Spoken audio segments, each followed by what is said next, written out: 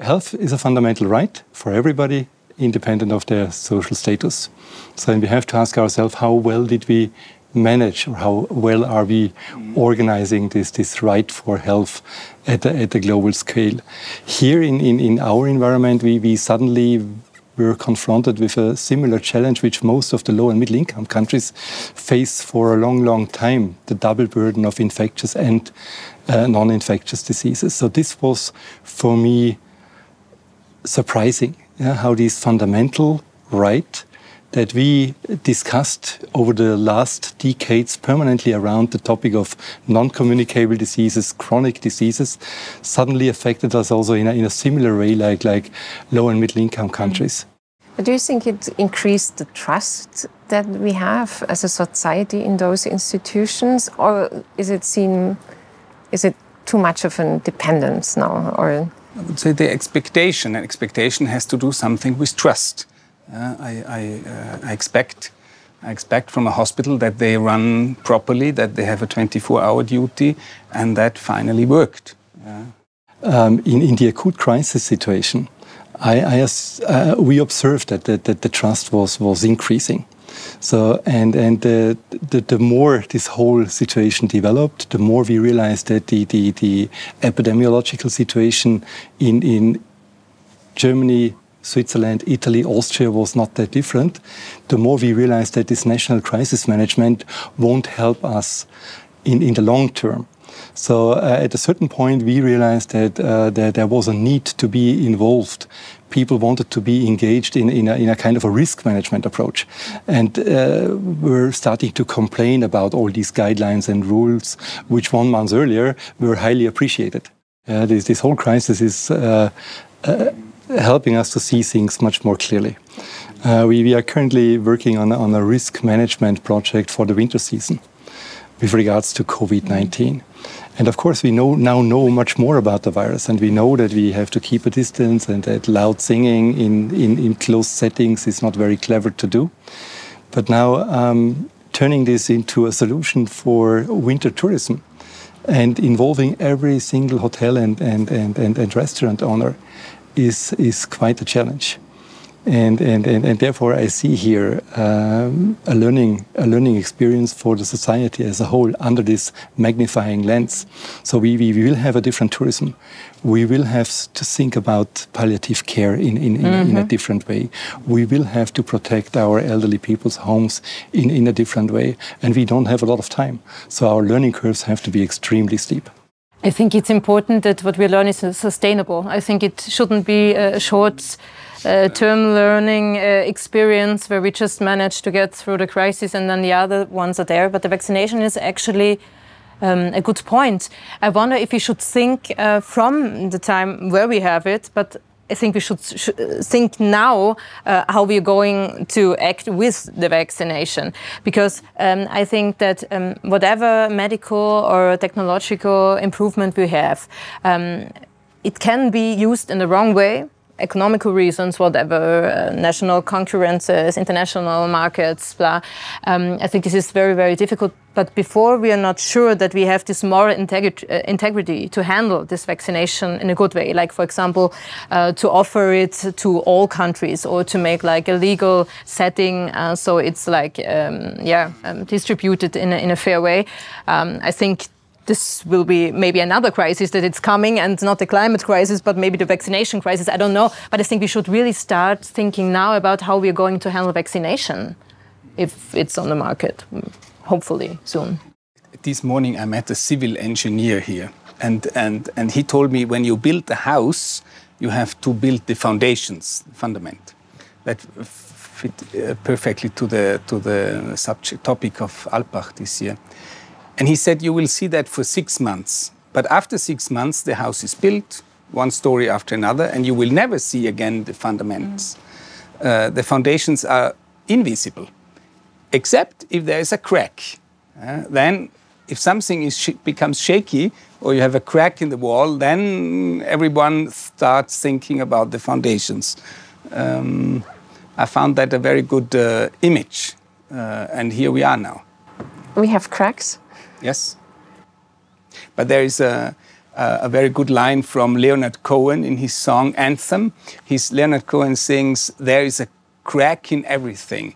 That's how the light gets in this mortality topic is really something that we should approach. Yes. And uh, I mean it now really in a, in a philosophical, anthropological, uh, anthropological way, because we were talking about um, they died too early. Mm -hmm. But uh, I really wonder if this discussion about dying too early is the thing we should approach, because it's also how we live in, in the time we have. And I really mean now uh, we are very privileged uh, in our countries here in Europe, here how we live.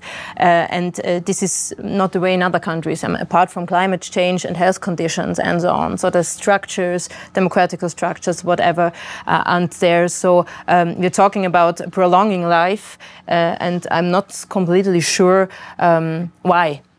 So I have the feeling that we have this kind of topic that living as long as possible is the good life we have now. And uh, that might be now, um, yeah, a little bit um, courageous, but I would say uh, I think we should also see how we live. We should somehow try to get into a reflection mode. I mean, that is what we do now. Um, I, I like the formula event plus reflection is experience. And if you just hop from one event to another, that's like if you drink only espresso. Yeah? That, that's not, that, that, that, can't be your standard drink. Uh, you need the time of reflection to step back. And, and there I would like to bring in a religious point. Uh, the seventh day, the, the Shabbat, which developed uh, afterwards in, in the, in, into Sunday and for the Muslims into Friday, um, that is a, a a cultural, a cultural approach, uh, and it's the biggest interruption which we have in society. In, in the Jewish tradition, they say uh, more than the Jews have kept Shabbat, Shabbat has kept the Jews. And I think we should uh, see when do we have these times of reflection. If we just work 24 7 and have no interruption, no time also collectively, uh, not just individually, but collectively. And, and that means for our area here, probably Sunday.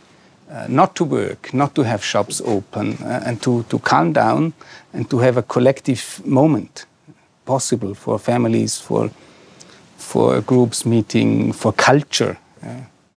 I think what we have to look for is for good judgment, to train people for good judgment, uh, how to uh, how to meet in a safe environment. And the other one is safe, and, and mm -hmm. I'm safe.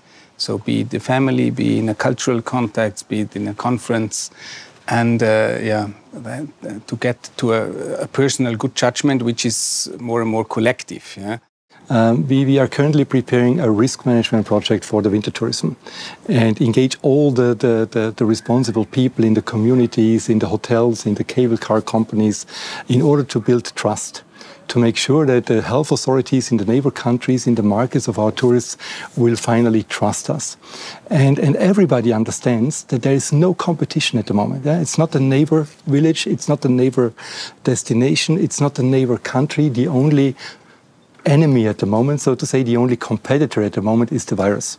And the, the, the, the, challenge to, to, to organize winter in a, in, a, in, a, in a different way.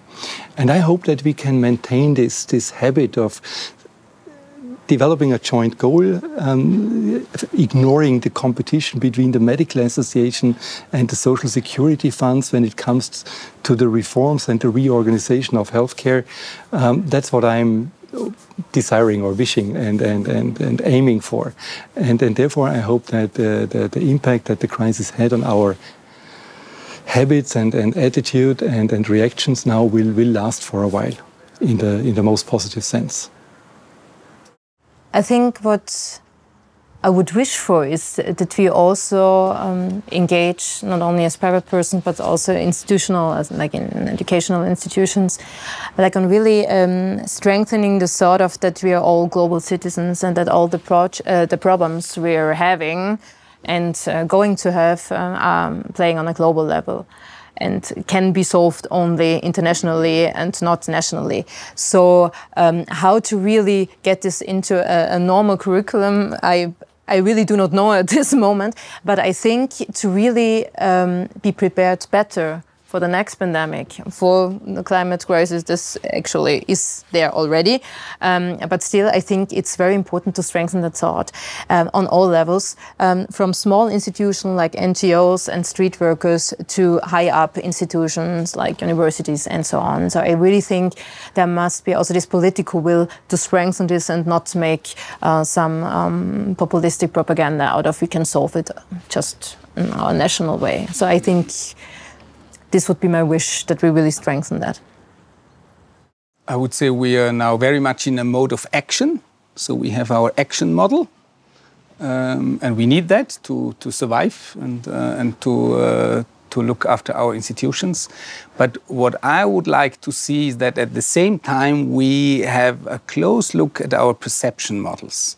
How do we perceive reality? And um, maybe that this crisis somehow gets us our frame a little bit wider in terms of inter more international, not just national, not, not too narrow. Um, so uh, to have a close look on our perception models. Robert Musil, um, der Mann ohne Eigenschaften, the man without qualities, he has this um, distinction between um, sense of, of reality and we all have that sense of reality now, and the sense of potentiality, uh, Wirklichkeitssinn und Möglichkeitssinn. And I think we should get a little bit bigger sense of potentiality uh, to see, uh, to have a frame which is bigger, not just national, but international, which is inclusive, uh, not just the, the rich and the most important and the intellectuals, but average people, disadvantaged. Um, I think if we could if we could go down that road, that would be helpful for all.